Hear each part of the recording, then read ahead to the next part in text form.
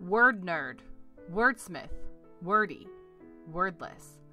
Oxford Dictionary says a word is a single, distinct, meaningful element of speech or writing, used with others or sometimes alone. We say each one matters. No extra words is literature, minimalist style, and we're getting you right to the story. Perspective by Janelle Cordero. When I opened the famous book of poetry from 1981, the cover split from the spine, shedding flakes of glue the color of butter. How strange it is to hold the book unadorned, just a stack of paper, the way any manuscript starts out before it's chosen for something better.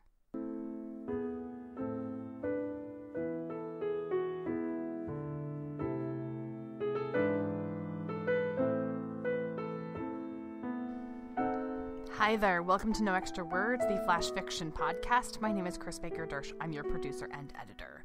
We're doing a bit of a special today, a poetry slam episode. So here's the story of me and poetry. I'm not a poet. I've written my share of bad poetry, you know, in my teenage years, but I'm not a poet. And I'm not a poetry expert. I'm a person who likes poetry. And I'm a person who, in my four years as a school librarian, became something of a poetry evangelist. I felt like it was my job to pull the National Poetry Month celebration all over my school.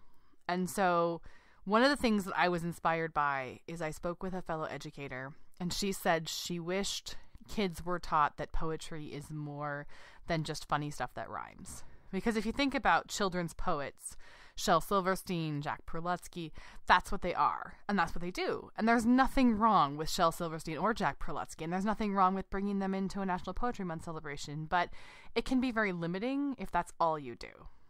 There's a world of poetry out there. There are novels in verse, there are poems that rhyme, there are poems that don't rhyme, there's found poetry. And so that's what I tried to bring to my students, my elementary and middle school students during National Poetry Month. And that would include a lot of things. I had a lesson all written around African American poetry and Langston Hughes that I would share with fourth graders, talking about the evolution of hip hop and rap and jazz and how those all come together out of a poetry tradition. I would read Gertrude Stein to the third graders. I remember one third grade boy, after three members of his class had told him how stupid the poem was when I read them some Gertrude Stein, he said, Well, you can't just listen to the words. You have to kind of just let them be noise, let them run over you. And I thought, You may know more about Gertrude Stein than a lot of people I know who have undergraduate degrees in English. I would always have the sixth graders try to come up with a definition of what poetry was and that was hilarious to watch. I had one class have a very lengthy debate, and then they decided that a poem is a poem because it has poemness. And I asked them what poemness is, and they said you just know it when you see it. I had one student tell me a poem is a big bunch of words thrown together that somehow all relate. And none of those definitions are wrong. I think those are awesome definitions of poetry. And the day I think that I knew I had succeeded was over the course of one day, I had a third grader write me a wonderful four line poem where every sentence, every line ended with some word that rhymed with cat. I had a seventh grader write an acrostic on a murder mystery where the line, the first word in each line spelled out who did it or who done it, I think. And then I had, I want to say, a fourth grader write a two line poem called Failure to Write a Poem. And somehow in that moment I felt like I had succeeded, that I felt like I had spread this epidemic of poetry in the school to the kids.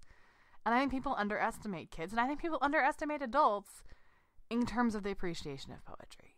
For adults, I think we have the opposite problem that kids have. Rather than thinking that all poems have to rhyme and be funny, we think that all poems have to be very literary and very overwrought and convey lots of deep meaning. And some do, and that's fantastic and some don't. Some are silly and some are ridiculous. There's a great book of found poetry that is all speeches made by Donald Rumsfeld during his tenure as, um, what was he? Secretary of Secretary of Defense, I think. And there's a great book of found poetry that is all baseball calls made by Phil Rizzuto. Poetry's everywhere. It's everywhere. And as I was sorting through poems, trying to figure out what fits into this months worth of episodes, I kept getting a lot of different poems that didn't fit so well, but were awesome because they represented some different part of poetry or they had a different sound to them or they had a different feel to them. And I thought, I need an episode that's my poetry catch all drawer. And immediately I said, we need to do a poetry slam. Now, this isn't really a poetry slam. Poetry slams are competitive performance poetry events where you have a window of time to write and perform a poem. We used to do a community based one in a library I used to work at. It was actually a lot of fun. You'd be given a topic, a word. I think you're given a word. You had to write a poem that somehow featured that word, and then you could perform it, and then there were judges and, and prizes. And it's a lot of fun. This is less intense, it's less competitive, but it is about the writing of the poems and the performing of the poems because this is an audible medium. You're hearing them, you're hearing them be performed either by the authors themselves or by yours truly. And they all come together in a different way because they all relate somehow, even though they don't. But again, this is a short story podcast, and I had to put a short story in there. So one of these pieces is a story. One of these pieces came in as a flash fiction story. One. There are six. And I'm not telling you which one. I'm going to get you now on to more pieces, and there is a poetry slam coming that is all this performance of poetry designed to shake you out of your comfort zone during this National Poetry Month. But hiding in there somewhere is a piece of prose. And I would love to know do you know which one it is?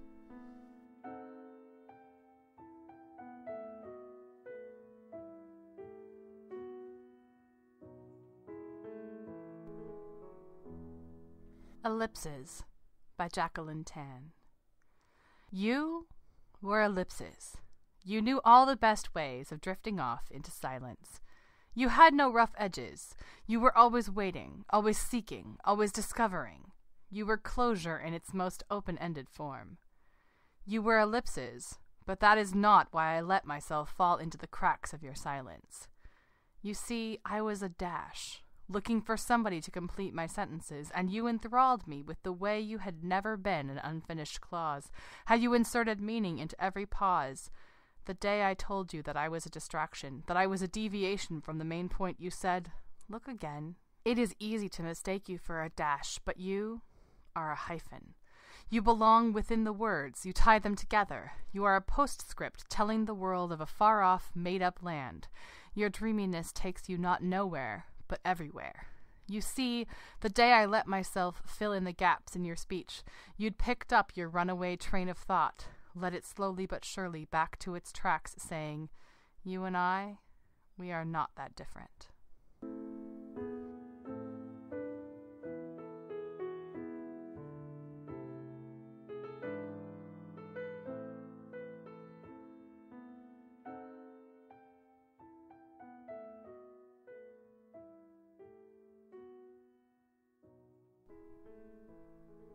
Apollo by Devyn Millette. A dog collar on your windshield, put there with an appearance of indifference, an appearance of uncaring. But you would be wrong, for this is the third time I have had to leave you a note, a rarity these days, but then again, so are you, on your windshield, tucked under your wipers. The last note was washed out into mush in the rain before you could read it, while the one before was blown away in the wind. In the past, I had left more subtle hints, but you had ignored them. The first time you had done it, I had simply brushed off your ignorance as you being busy. I imagined someone who is as important as you is usually busy. That day, though, the one in the coffee shop, I was standing in line right in front of you, unable to avoid your gaze, even paid for your usual coffee order. For my effort, all I got was a thanks and a smile. At that point, I would have thought that you would understand me by then, that you would talk, have a conversation, tell me your dreams and aspirations. But you didn't. No. Every time you ignored my notes, my looks, the coffee. Even when I put myself directly in your path, with a setting of flowers and card, arranged just so on your doorstep, you had them thrown out and started to keep Alice and your dog inside. Unlike you, your dog Apollo was always affectionate towards me. He warmed up to me almost right away. He was putty in my hands, and even started to look forward to my visits while you were away at work. He would always wag his tail and welcome me home. Welcome my ear scratches and my homemade dog treats. In fact, he just scarfed down about thirteen of them, and now he is sitting still in the back seat of my car. How cute he is. Kinda like you.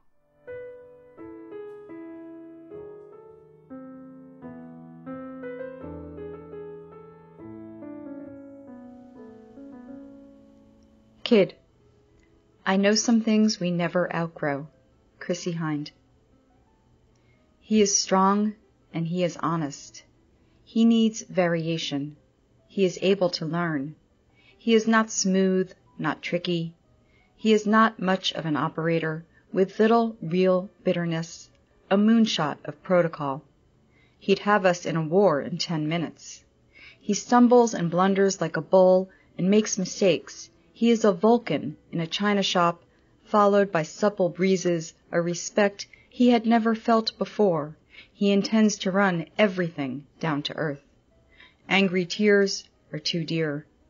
He is given suggestions to laugh like a commie, slowly and carefully, to write with absolute seriousness. He could have been overcome easy enough. He's no less immune to losing, he's lost twice already. Head on, he underestimates Zeus, that uncertain fire.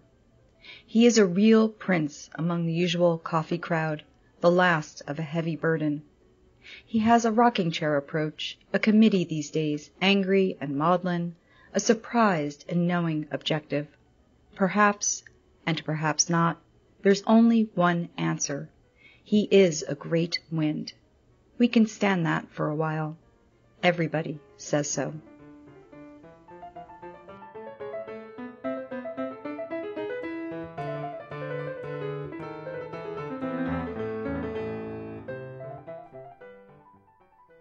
Transoceanic Twitter by Alex Dreppec.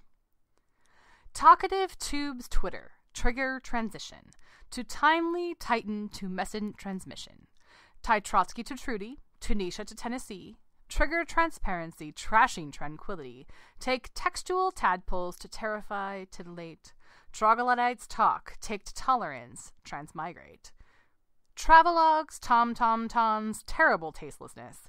Treasure troves, tongue tongs, trenchancy, tastiness. Two trillion text tatters twittering tirelessly, trading tirades, trueness, tape words, tomfoolery. Tattle torpedoes turn tiny trivialities to trash tornadoes, tumultuous tautologies. Take tessellations, take turns, take text tweezers. Trigger talk triple tripe tips Take tipsy text teasers. Tremulous Toastmaster Titanic travesty. Turning tricks, taking turns toughly, tempestuously.